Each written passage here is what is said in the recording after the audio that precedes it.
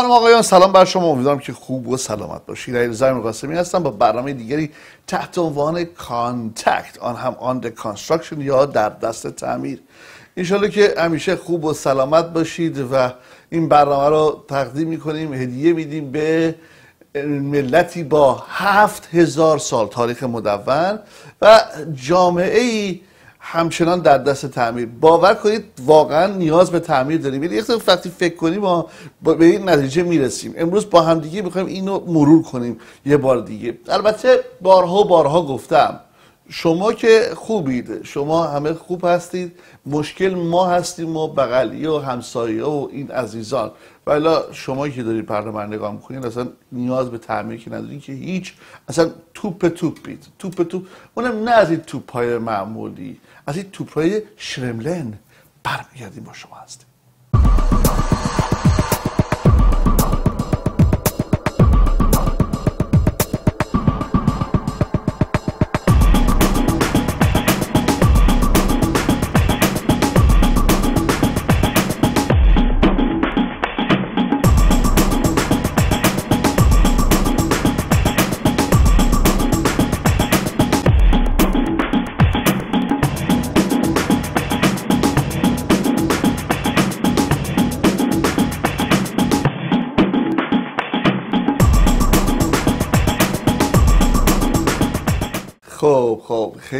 خوش میگذره امروز.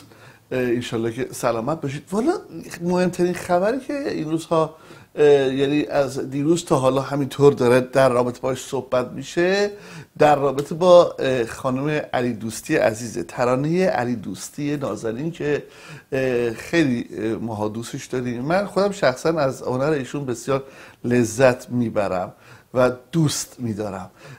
بگم واسه تو درباره خب ترانه دوستی بعد از بازی در فیلم فروشنده و اینکه این فیلم به اسکار به اون پنج تا فیلم راه پیدا کرد که انشالله موقعیتش بشه و از این پنج پله عبور کنه و جایزه رو در دستش بگیره آقای فرهادی یک بار دیگه. و اصلا حضور این اسم و حضور یک فیلم از ایران جذاب و مطمئنا پر از اتفاقات خوب که می‌تونه برای کشور ما بیفته.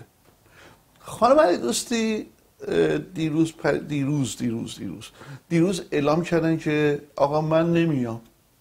اه چرا؟ ها؟ نه آخه چرا؟ بعد خانم علی دوستی گفتن که من به خاطر اینکه این حرفای تبعیض نژادی که آقای ترامپ زده و اون هفته کشوری که گفته بدن بد بد به خاطر اونها من پامو به آمریکا نمی‌ذارم. ما ملت ایران ملت بسیار علاقمند شور حسینی. آقا باش حالی می‌کنیم ما. به خدا همینطور تو سایت های مختلف یکی پس از دیگری. بنویس بنویس بنویس بنویس. ترانه نمیره ترانه نمیره ترانه نمیره. خب این کار واسه مردم داخل کشور مطمئنا جذاب و خوبه. برای دو تا سایتی هم که بر دنبال خبر هستن از جمله یاهو و گاردین اینها هم یه تیتر کوچیک می‌تونه باشه. اما ببین خود بهش واقع بینانه تر نگاه کنیم ببینیم که آیا واقعا رفتن ترانه دوستی یا نرفتن ترانه دوستی چه فرقی داره؟ یاد یکی از دوستان قدیمیمون میفتم به نام ویلیام که می‌گفت تو بی اور نات تو بی بودن یا نبودن؟ در این مسئله آیا نبودن ترانه علی دوستی میون این همه عوامل و این همه شخصیت ها و این همه اسم ها آیا نقشی بازی می‌کنه؟ من فکر کنم که ماها همیشه رد کردن رو باید باش خود فکر کنیم. می‌دونی مثلا میگیم بدترین زمان شرایط ایران با آمریکا. بعد کسی که همه آمریکا بهش بد ایران میگفتش و اونم به همه آمریکایی ها بد می‌گفت سال یه بار شهریور به شهریور بلند می‌شد میومد به نیویورک. چرا؟ به خاطر که به سازمان ملل می‌رفت.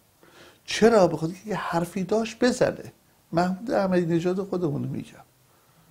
هیچ ایرادی نداره. خانم علی دوستی عزیز من که بسیارم نازنین هستید. فکر کنید اگر شما می اومدید به آمریکا حالا به گفته شما ویزاتون صادر می‌شد و میومدید به آمریکا. فکر نمی کنید که این بهتر بود که شما میمدید اینجا تو مصاحبه هاتون در رابطه با این مسئله صحبت می‌کردید و عنوان می‌کردید که آقا این کار کار قشنگی نیستش ما ایرانی ها تروریست نیستیم ما ایرانی ها رو نباید با بقیه اون لیست مقایسه کنید. یا اصلا این شما باید در صورت برای هر کسی یک پیشینش رو نگاه کنید و ببینید چی هستش. ببینید یک پرزیدنت میاد و براش منافع کشورش اهمیت داره. و می‌خواد یه کاری بکنه که به مردم کشورش بگی که من می‌خوام برای شما امنیت رو خریداری کنم. و این کشورها یا درش تروریست وجود داره یا کمک می‌کنن با سرمایه هاشون به ترویج تروریست. ولی اشخاصی مثل شما هستند که می‌تونن این مسئله رو عنوان کنن. و می‌تونن این مسئله رو در زمانی که دوربین و میکروفونی در مقابل شما قرار می‌گیره در رابطه با اون صحبت کنید. خوبه قشنگه. در داخل کشور همه خوشحال میشن و همه در رابطه با این مسئله صحبت می‌کنند و میگن آقا دیدی ترانه دوستی چیکار کرد؟ اما آیا به صورت جهانی و این بود جهانیش به کجا می‌رسه؟ آیا این فقط یک صدای ترقه است که در چهارشنبه سوری پسر همسایه در می‌کنه؟ یا ما دنبال یک بمب هستیم که سر صداش قشنگ بپیچه که بگن آقا یک حرفی زد که این بمب صدا کرد. البته لغت بمب لغت قشنگی نیست این روزها. یعنی اسم بمب هم حتی نباید بیارید اما با تمام مسائلی که وجود داره با تمام اتفاقاتی که در هیتی اسکار میفته نگاه کنیم به اینکه آیا برای اسکار چه اهمیتی داره که بازیگر یک فیلم که انتخاب شده به عنوان فیلم خارجی در, در اسکار حضور داشته باشه بازیگر یا نداشته باشه چرا؟ چون تا قبل از فیلم کرش که اسکار رو برنده شد حتی اگر توجه داشته باشید به تهیه کننده ایرانیش چون سه تا تهیه کننده فیلم داشت به تهیه کننده ایرانی گفتن نه دو نفر باید برید روی صحنه و جایزتون رو بگیرید. الان اینطوری شده که تمام عوامل سرشون رو میندازن پایین میان بالا. اونم بعد از این بود که این یک شکایت از طرف تهیه کننده به وجود اومد باب یاری که این کار رو انجام داد و آقای یاری با سر صدایی که کرد گفتن اشکال نداره. حالا اگه یه فیلمی برنده شد به عنوان فیلم اشکال نداره عواملا بیان بالا. ولی در گذشته حد اکثر دو نفر می‌تونستن بیان بالا که اونجا هم باید شاید سنگیچی کاغذ می‌شد بین شهاب عزیز و ترانه که با اسقر فرهادی کدوم یکی باید برن اون بالا. هم باز دوباره به این بپردازیم که الان فروشنده 20 درصد شانس پیروزی و موفقیت و دریافت یک اسکار دیگر رو برای فرهادی داره. ولی آیا حضور ترانه علی دوستی بهتر نبود که باشه؟ شما اولا دارید با اسکار صحبت می‌کنید و اکادمی که بخشش به آمریکا باز ربط نداره. و عین همون حالتی میمونه که خب این مراسم در آمریکا داره برگزار میشه. عین داستانی که در سازمان ملل اتفاق میفته در نیویورک. و آیا فردا آقای روحانی هم به خاطر این مسئله در مراسم سازمان ملل شرکت نخواهند کرد و ایشون هم این مسئله رو رد می‌کنن که به خاطر این موضوع ما پابون رو به آمریکا نمی‌ذاریم. یا این یه شگرد تبلیغاتیه. من فکر کنم که باز نگاه بکنیم. یک زمانی مارلون براندو مشکل داشت با خود اسکار با خود اکادمی.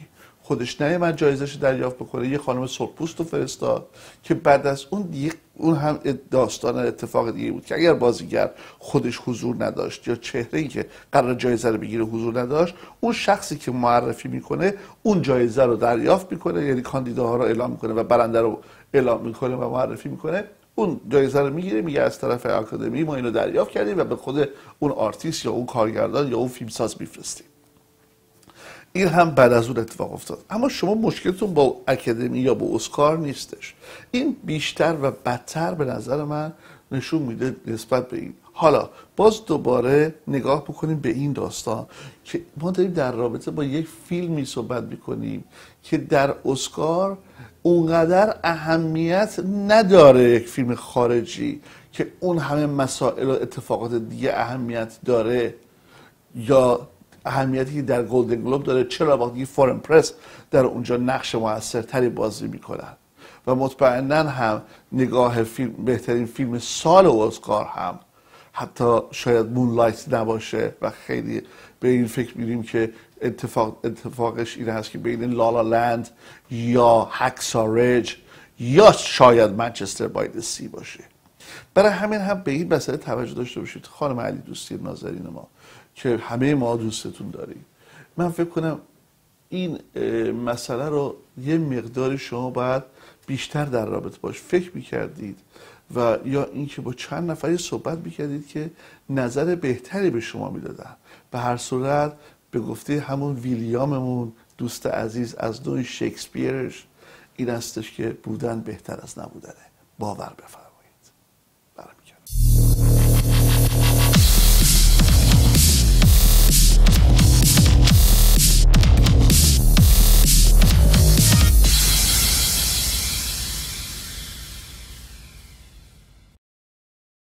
حالا بیایم بپردازیم به اینکه بعد از اتفاق ساختمان پلاسکو و این قبل بزرگی که برای همه ملت ما به وجود اومد و باز هم به بازمانده ها تسلیت بگیم و انشالله که خداوند بهشون صبر بده.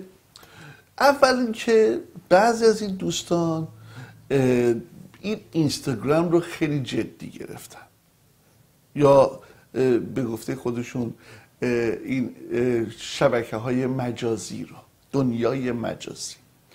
یک کسی نوشته بود آقا چرا شما توی این صفتون هیچی ننوشتید از این مسئله؟ یعنی حتی نخواسته چک کنه ویدیو که ما در رابطه با این مسئله صحبت کردیم و بگیم آقا ما خودمون یه دوربینی داریم بالاخره از یک طریق دیگه می‌تونیم صحبت کنیم و حرف بزنیم. و اگر برنامه شخصی نداشتیم باز دوباره تو صفحه تپش هم که این مسئله رو عنوان کردیم.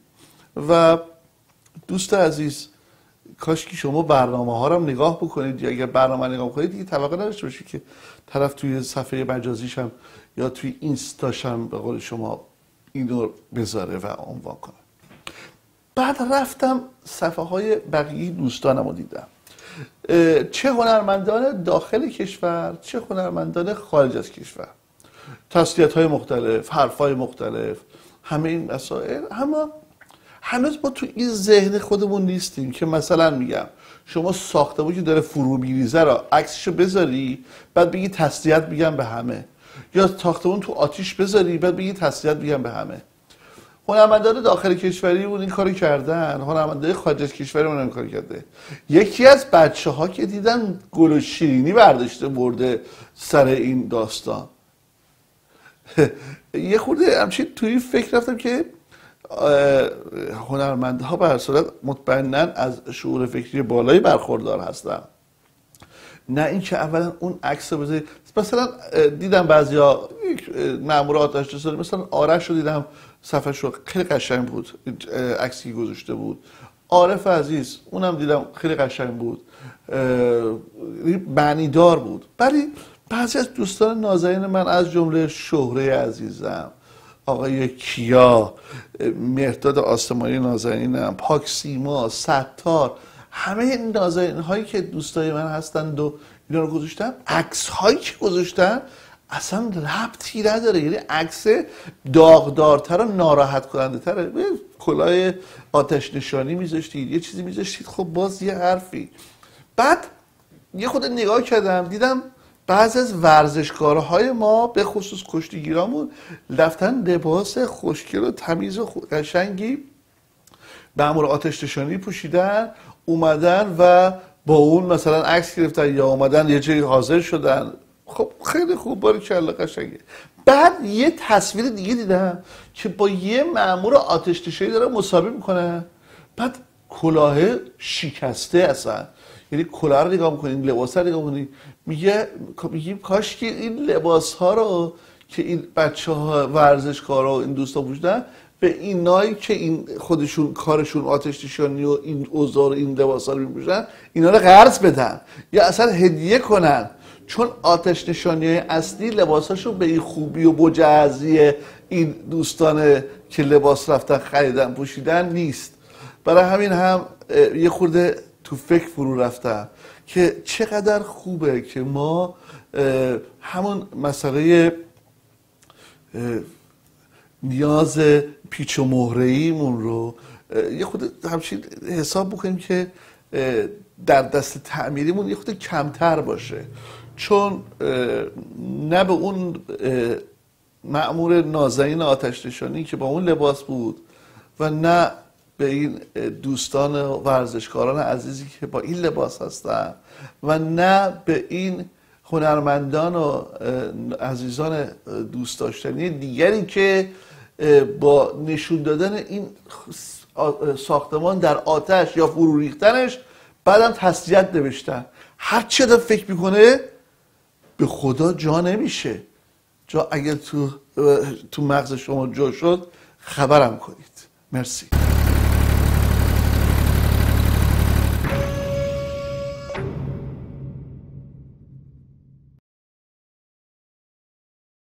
یه عکس جدید یه نقاشی جدید گلشیفته توی صفحش گذاشته تو اینستاگرامش که زیرش خیلی قشنگ نوشته. نوشته خیلی دوست میدارم این عکس رو. نقشی که هرگز بازی نکردم و سینه ای که هرگز نداشتم. به خدا من نگفتم. اینو گلشیفته عزیز نوشته و گفته. و حسن جوری هم گفته گفته absolutely love it. بعد نگاه کردم مثل که کار عزیزی به نام آقای احسان شعبانی.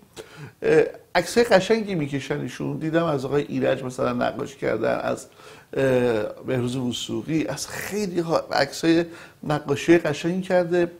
بعد خیلی فکر کردم گفتم که شاید آقای شعبانی نازنین آبروداری کرده بعد از این همه سر صداها و صحبت هایی که بوده یا اینکه کله گلشیفته رو روی بدن سوفیا اونم از نوع لورنش گذاشته. به هر صورت خسته نباشید. هم گلشیفته که این روزها مشغول فیلم های و کارهای جدیدش هست هم آقای شعبانی که به هر صورت این زحمتی کشیدند خواهش می‌کنم.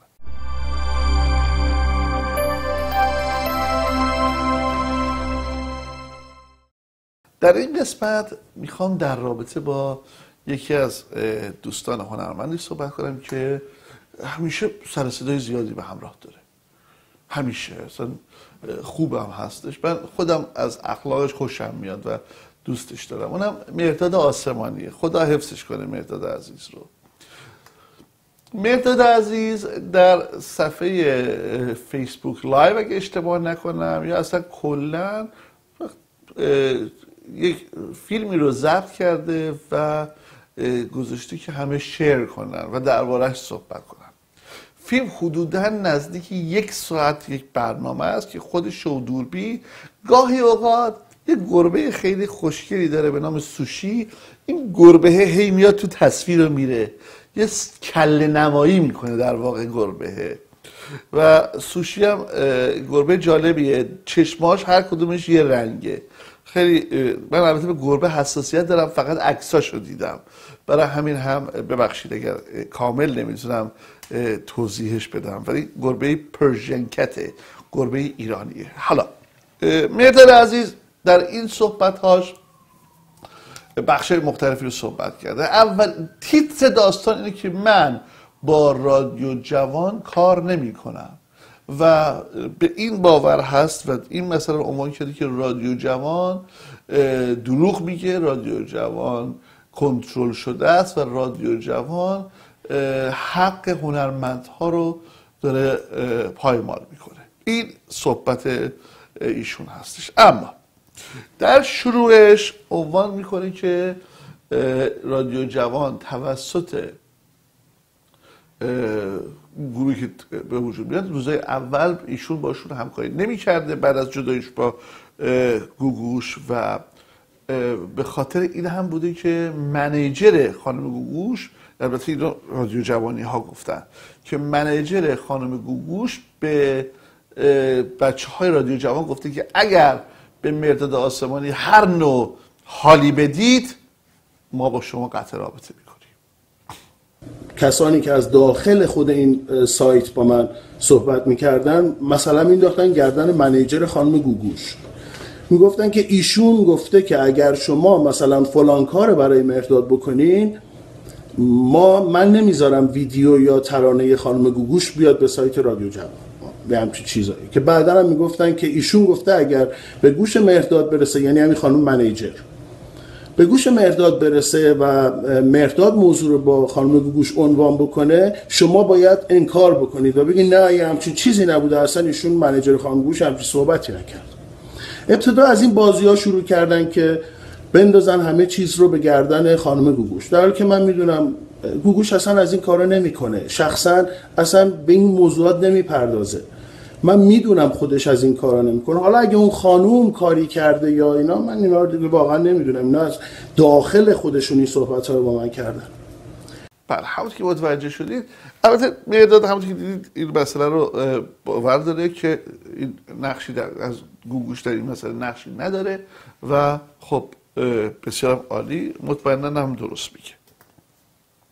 در بخش دیگه عنوان می‌کنه اینکه بازدیدهای اعلام شده در رادیو جوان باز واقعیت نداره و این بازدیدها ساختگی هست. نگاه کنید با هم دیگه این بخش رو. یه سایت موسیقی که یک آماری میده دو میلیون بازدید سه میلیون بازدید چهار میلیون بازدید اول باید امکانات این بازدید رو رو سرورهای اینترنتی داشته باشه. یعنی هزینه های سنگینی داره این سرورها. که بتونن سه میلیون چهار میلیون 5 میلیون بازدید بکنن.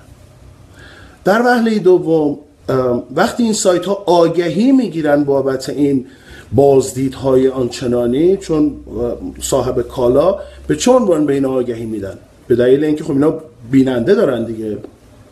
خب این خودش کلاهبرداریه و اینکه آمار دروغه. یه همچین چیزی وجود نداره. مثلا کل ویدیو صد, صد هزار نفر دیدن اونجا تغییر میدن می‌کنن چهار میلیون نفر. در بخش دیگه از این صحبت می‌کنه که چرا کلا اصلا مشکل داره با رادیو جوان و بعدم از در رابطه با این صحبت می‌کنه که یکی از هنرمندان بزرگ ما در رادیو جوان نقش داره و این نقشش هم خیلی خیلی پرسر صدا یا پررنگه نگاه کن. یکی از خواننده های بزرگ ما خواننده های بزرگ ما خواننده های مرد ما مرد. اسم نمیارم به دلیل اینکه در جریان دنبال کردن این مسئله هستیم از طریق قانونی. مقدار پول زیادی رو از دولت آمریکا به این به این سایت ها تزریق کرده و خودش داره در, در حقیقت مدیریت می‌کنه. و کی باشه کی نباشه کی چجوری باشه کی چجوری نباشه همه اینا زیر سر خودشه و خودش هم سهام داره. با دولت جدیدی که در کشور آمریکا الان در کاخ سفید مستقر شده تمام کسانی که به هر شکلی به هر شکلی با جمهوری اسلامی ارتباط داشتن پولهای رو رد و بدل کردن و با اینها در حقیقت کمک کردن چه از فرهنگی چه از سیاسی. برجد ما خیلی از مسائل سیاسیمون باید متکی بر مسائل فرهنگی و هنریمون باشه. یه ایدئولوژی در کنار هنر و فرهنگ که به مردم غالب میشه. کاری که جمهوری اسلامی به زیبایی و درستی انجام داده به نظر من.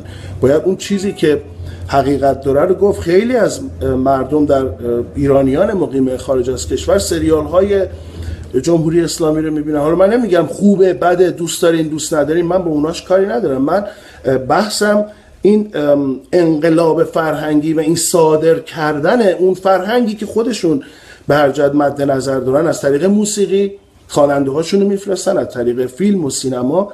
و اینجا کسانی رو دارن که بسیار زیرکانه و زیر میزی به اینا کمک می‌کنن و این صحبت ها همچنان ادامه داره و عنوان از این که در حتی هنرمند در خانم خونه گوگوش هم جاسوس داشته. همین آقایی که من ازشون اسم نمی‌برم در حال حاضر نمی‌تونم اسم ببرم. به دلایل مسائل امنیتی نمی‌تونم ازشون اسم ببرم. ایشون جاسوس دارن توی خونه خانم گوگوش. خیلی جالبه. خانمی رو به نام مینا میفرستن منزل ایشون. تمام اطلاعات منزل خانم گوگوش در اختیار این آقاست. حالا اصلا چرا؟ مگه موسیقی ما چه ارزشی داره که الان در خارج از کشور؟ چه ارزشی براش باقی مونده؟ سیدی ها به فروش میره کمپانی ها خیلی میلیونرن. واقعا چه اتفاقی داره میفته؟ چه اتفاقی در موسیقی ما داره میفته که اینقدر شما براتون مهمه که مثلا خانم گوگوش در خونش چه کار می‌کنه؟ ایشون دیپرشن گرفته رفته تو حیات داره برای گلاش آواز می‌خونه. خب این چه اطلاعات به چه درد شما می‌خوره آقا؟ مگر اینکه شما باید کنترل بکنین بخشی از بخش مهمی از موسیقی رو در خارج از کشور و رسانه ها رو نیز کنترل بکنین. و رسانه ها هم با ساختن سایت های حمایت کردن سایت های دروغگو سایت های دروغگویی که هم مدام دروغ میگن آمار دروغ میدن و یک باند مخوف درست کردن. اگر می‌خواین مثلا یه بچه جوون بیچاره اگر دلش می‌خواد یه ترانه خونده در ایران باید به اینا مثلا 200 دلار پول بده که اینا مثلا آخه, آخه چه کاریه؟ بیداد آسمانی شخصی که راست میگه. اصلا از نه از کسی میترسه و نه هیچ وقت حرفی رو با سانسور عنوان می‌کنه. و در اینجا هم صحبت کرده که من از هیچ کسی نمیترسم و این مسئله برام مهم نیست. من که حرفامو می‌زنم از هیچ کس هم نمیترسم. هیچ کس. و میگم بد اخلاق آخه من آره من بد اخلاقم به دلیل اینکه من تن به این کارا نمیدم. من دو سال جبهه نجنگیدم. آقا اون موقعی که تو نشه بودی اونجا اینجا من تو جبهه جنگ بودم. منو نترسون. من نه موادیم نه الکلیم. من اهل هیچ کدوم این صحبت ها نیستم. احتیاج به هیچ کس هم ندارم. ببینید این همش خوبه و قشنگه. بعد می‌پردازه بهتاد به اینکه هنرمندان ما خیلی هاشون خانه نشین شدن و بهشون نذاشتن که اونها کار بکنن یا نمی‌ذارن اونها کار بکنن. و در رابطه با اشخاصی مثل مسعود امینی شهیار غنبری اردلان سرفراز فرید زولان و این عزیزان صحبت می‌کنه. ایرج جنتی عطایی رو نشوندن تو خونه. مسعود امینی رو نشوندن تو خونه. شهیار غنبری رو نشوندن تو خونه. زویا زاکاریان رو نشوندن تو خونه. اردلان سرفراز رو نشوندن تو خونه. چرا؟ چرا اینا رو نشوندین تو خونه؟ یک تیمی اینجا داره یک رفتاری می‌کنه که در نهایت هم خودشون رو نابود می‌کنن. شک نکنین. کلا وقتی نگاه می‌کنیم به این ویدیو حس می‌کنیم که مهداد از این شبکه اینترنتی دلخوری داره و ناراحت هستش. در جالبم هست از روزی که این ویدیو در آمده تا قبل از که من جلوی این دوربین قرار بگیرم چند تا از هنرمندان خوب ما با من تماس گرفتن و عنوان می‌کردن که نمی‌خوای حرفای مرداد دربارش حرف بزنی یا نمی‌خوایم صحبت کنی و نمی‌خوای نظری بدی.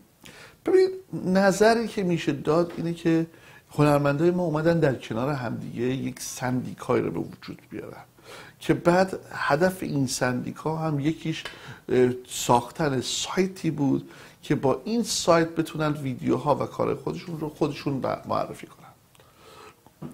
مهمترین اتفاقی که افتاد بین هنرمندان بزرگ ما بود و بیشتر از همه بین داریوش عزیز و ابی عزیز که بین این دو نفر هیچ نوع هماهنگی صورت نگرفت و کار به جایی کشیده شد که خواننده های دیگه دسته‌بندی شدن گروهی با داریوش گروهی با ابی و تصمیم گرفتن که یه گروه بمونن با ابی یه گروه برن با داریوش یه گروه و, و این مسائل حتی به بعد از میتینگ ها هم رسید.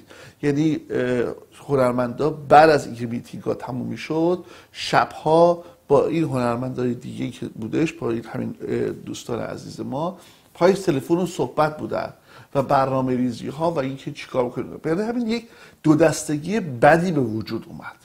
که این دو دستگی این سندیک های خانندگان رو البته نه هنرمندان سندیک های خانندگان رو از هم پاشید. اولین مشکلی بودش که این سندیک های خانندگان جالب بود که یک سندیک های خوانندگان بود ولی سندیک های بود که از خوانندگان همه دعوت نمی‌کرد بیاد از جمله مرداد آسمانی از جمله مثلا شهبال شپره که خودش یه تهیه کننده و آهنگساز هستش جزو گروه بود. که مثلا چند تا آهنگ توش رپ کرده یا در گروه بلکت ولی شهیار قنبری که مثلا سه تا آلبوم خوانده بود نبود. چرا؟ بخاطر که شهیار قنبری جاهای دیگه سودهای دیگه داشت به عنوان ترانه یا مثلا نگاه می‌کنیم شاهرخ رو هیچ وقت دعوت نکردند. چرا؟ گفتن که شاهرخ بیاد شاهرخ حاشیه به وجود بیاره یا یه صحبت به وجود بیاره که امکان داره این کار صورت نگیره.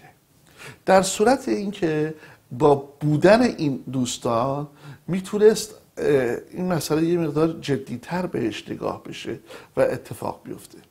یه سری از دوستانم که از دوست اول که بهشون دعوت شدش بیان اصلا نرفتن و قبول نکردن برن. پس اینجا این دستبندی ها از شروع این داستان بود. ببینید صحبت سر این میشه که هنرمندای ما از مرتد عزیز گرفته تا بقیه هنرمندا یک سری از هنرمندای ما دارن درآمد خوب دارن زندگی خوب دارن و مطمئنا اونها نمی‌تونن متوجه بشن که اونای دیگه که دارن سخت کار می‌کنن و میکوشن چجوری دارن زندگی می‌کنن. برای همین کنار در کنار هم گذاشتن این دو گروه با هم بسیار سخته و اشتباه. یعنی شما چطوری می‌تونید هیچ وقت بیگن به گفته هیچ سواری خبر از مشکلات پیاده نداره. و این هم درست همین مسئله هستش. زمان این اتفاق می‌تونه بیفته که این دست بندی صورت بگیره و قدرت اصلی و قدرت هنرمندای بزرگ ما بیان شرکت بکنن. ولی قدرت اصلی دست هنرمندانی باشه که بیشتر و اکثریت رو دارن تشکیل میدن. اون موقع هستش که می‌تونه یه سندیکا به خودش باشه. هیچ اهمیتی هم نداره که حالا حتما این شخص باشه و دوربین ها روی اون اسم های بزرگ زوم بکنه. اصلا این مسئله نیست. همونطور که داریم می‌بینیم شما president Grammy که مال موسیقی آمریکا هست یا president Academy Awards که همون اسکاره اینها هیچ وقت رابرت دنیرو و الپچینو و این اشخاص نبودن. همیشه از کسانی استفاده شده که یک زبان business آشنایی داشته باشن دو اگر غیر از غیر, غیر آمریکایی هستن به انگلیسی آگاهی داشته باشن سه تحصیلاتی داشته باشن که بتونن جوابگوی کارهای یک کار سندیکایی باشند.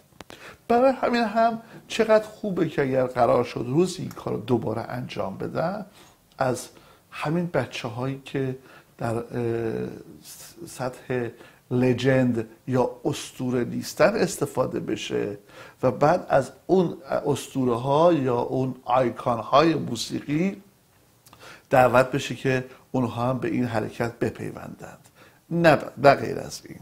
به هر صورت حرف های مرداد آسمانی هم درد دلی بود از طرف او و برخی از هنرمندان با مردم.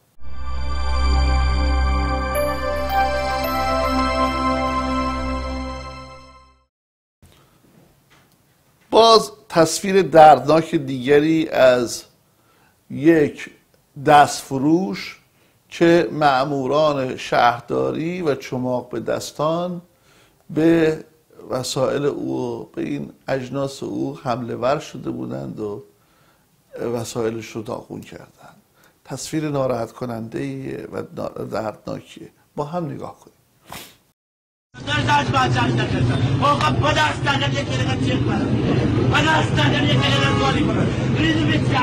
یک بیر پدر اون مادر مملکت تخمه یانه است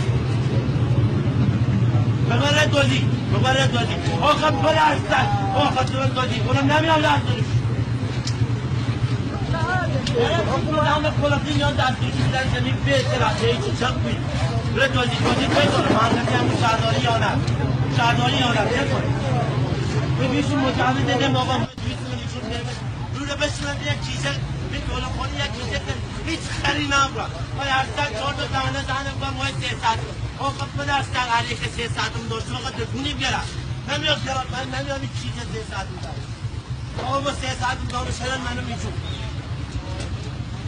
این می‌بینیم. بعد از طرف دیگه هم تصویر دیگری رو می‌خوام بهتون نشون بدم و صحبت دیگری رو. ساختمان می‌بینیم که نوشته ما این ساختمان رو به تمام کسانی که مغازه داران در ساختمان پلاسکو بودن یک سال سلواتی ساختمون رو واگذار می‌کنیم که بیان و کارشون رو انجام بدن. چقدر قشنگه. دیدم بازار کویتی ها هم یک حرکت دیگری انجام داده بود که اون هم قشنگ بود. نوشته کسانی که در ساختمان پلاسکو مغازه داشتن می‌تونن بیان در بخشی از مثلا مغازه‌ای که کسی داره یا حجره حالا هر چیزی می‌خوایم اسمش بیارید اونجا بساط خودش رو بذاره و بخشی از در بخشی از مغازه ما کار خودش رو انجام بده و به فروشش بپردازه. بسیار کار قشنگیه و بسیار لذت بخشه. چقدر خوبه وقتی که مردم دست به دست هم میدن. به یک باور هستم و این باور رو همیشه در رابطه باش گفتم. یه جمله هستش که هر وقت عنوان می‌کنم دوستان من میگن این جمله رو باید ثبت بکنیم با هم دیگه. اونم اینه که قدرت مردم همیشه بیشتر از مردم قدرتمنده. اینو بهش همیشه به این فکر باشید. این خیلی مهمه که ما بهش به این مسئله فکر کنیم. هیچ وقت قدرت مردم رو دست کم نگیریم و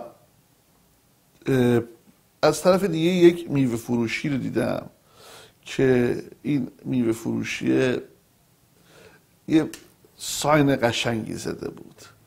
در میوه فروشی حاج ارزونی سارالله نوشته با لبخند وارد بشین. هر لبخندی که بزنید 15 درصد تخفیف می‌گیرید. از خودتون پذیرایی کنید اگه خواستید. جنس که فروخته شد این بار برای اولین بار خیلی قشنگه. پس گرفته میشه. این خوبه. برای ماها یه تجربه خوبیه. برای مردم ما که طرف جنس تا میفروشه میگه آقا پس نمی‌گیریم. همین هم که هست که هست. گفته احترام و خدمت وظیفه ماست به شما. بسیار زیبا. بسیار قشنگ. و گفته انتقاد سازنده رو دوست دارن و خواسته که ازشون انتقاد کنید.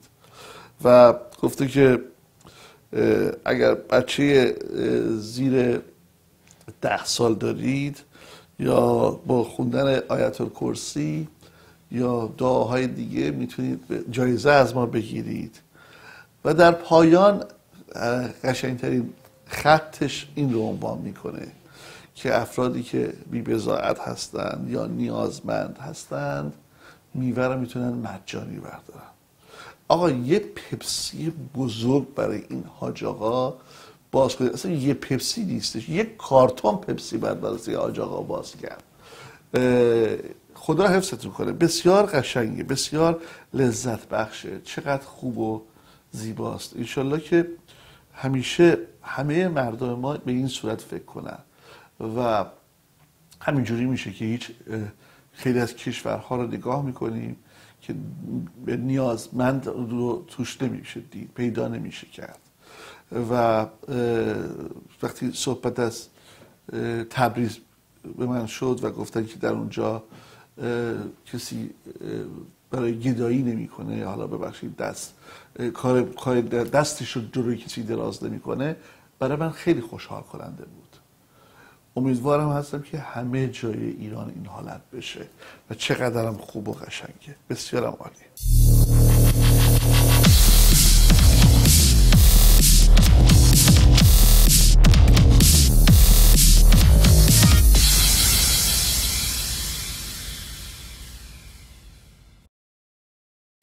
یه تصویر دارم این خیلی باحال بودش. یه عروسیه بعد توی عروسیه می‌زنن می‌کنن بعد تو عروسیه یه خر میارن. بعد عروسیه خر میارن بعد خر اولاغ.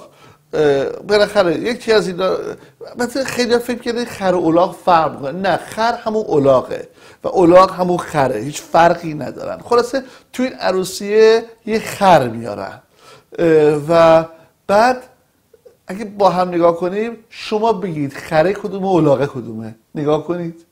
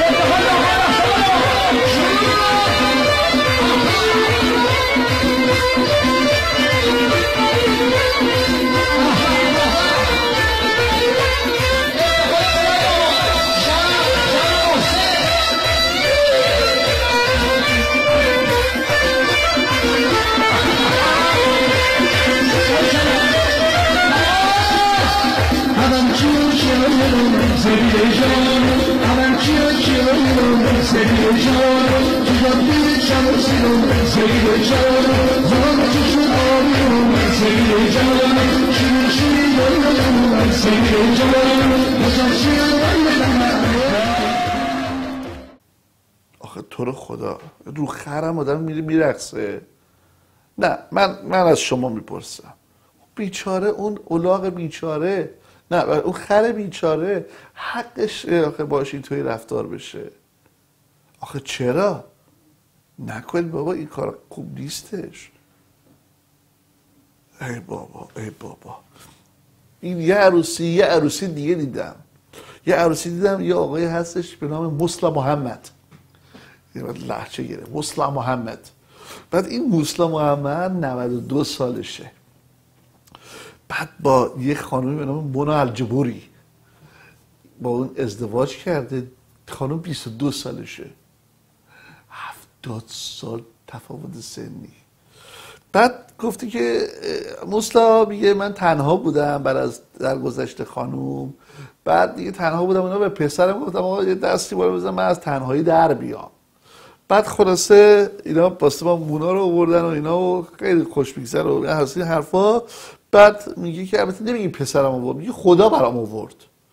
میگه خدا برام آورد درسام خوب نوشتم خدا به هم پری داد منای قلقلی داد. نه یه شعر دیگه بود اصلا مامان بود پری می‌داد. برای کلا ولی وقتی بهش نگاه می‌کنید جالبه ها. فکرشو بکنید که بعد تازه نگاه کنید اول It looks like a regular Iraqi wedding until you see the bride and groom. 92 year old Muslim Muhammad is old enough to be his wife's great grandfather. The widower decided to remarry, so he instructed his sons to find him a wife. And they obliged, with 22 year old Muna al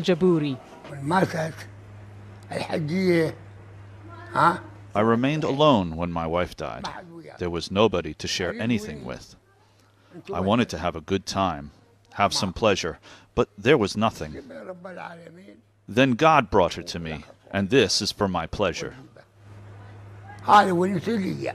But it's not clear whether Mohammed is there for Al Jaburi's pleasure. She agreed to marry the nonagenarian after seeing photographs of him, and she says it was her fate. Mohammed has 18 children, and several of his sons practice polygamy, which they refer to as a hobby. This has led to an extended family of 325 members, and it seems the so called hobby is catching on. Mohammed says he's ready to marry again if he can find another woman. موسلا گفته بازم من حاضرم ازدواج کنم بعد از مونا و خلاصه مشتریه خدا حفظش کنه. 92 سال خوبه دیگه. خدا حفظش کنه. فقط امیدواریم که موتور نسوزونه. موسلا خان. خواهش می‌کنم.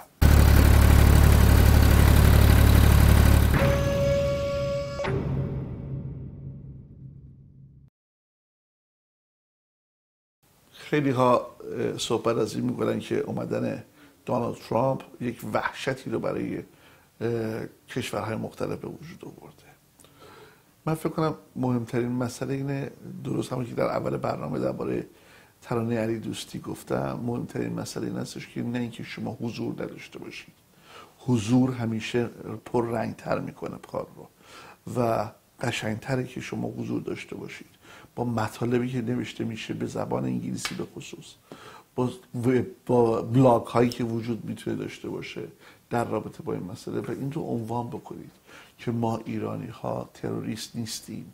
ما ایرانی ها در هیچ کدوم از این لیست هایی که شما دارید و مردم مختلفی که دیدیم این تروریسم رو ترویج دادن و حمایت کردن ما درش نقشی نداریم. و عنوان بکنید که ما در کجا قرار داریم.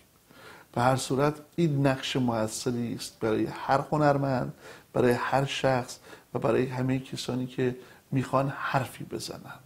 خوبه که آدم یه کاری بکنه که همه براش دست بزنن. قشنگ هم هست هیچ ایرادی نداره.